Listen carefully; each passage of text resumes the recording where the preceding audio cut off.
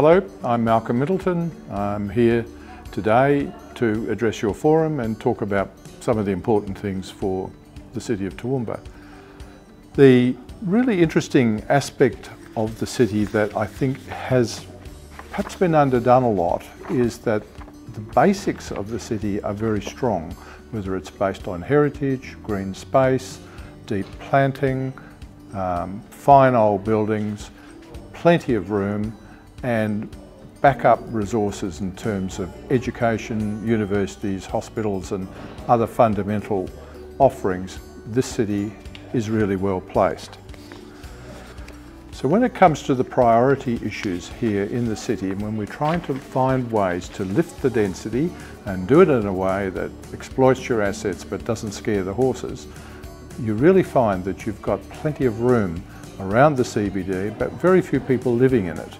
One of the reasons we understand is that there isn't a, an excellent public transport system here yet, but it's a bit of a chicken and egg. There are new technologies now that will enable people to really find ways to live as pedestrians or with alternate means of, of mobility, particularly electric bikes and many other supplementary forms of transport now that were not available in the past.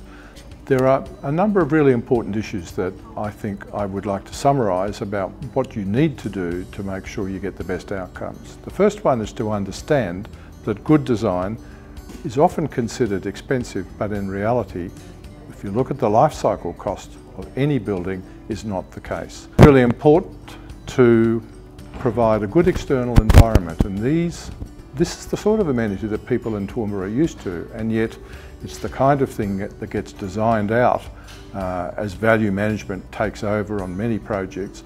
It's the ground amenity, it's the deep planting, it's the shade, it's the outlook. These things are often taken away when in fact they're essential to get the standard that you need. We uh, too often design projects around the car and really the car should be fitting around the way you want to live.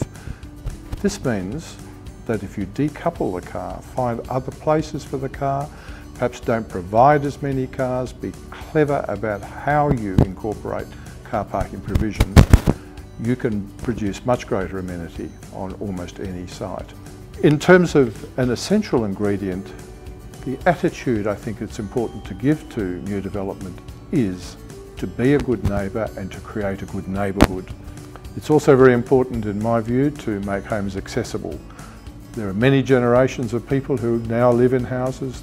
We all live in houses at different stages of our life. And at some stage in our life, whether it's with young children, after an accident, or with older people in the house, or with a disability, there is a need for accessibility. In my view, every house should be accessible. It is therefore ready for any generational occupation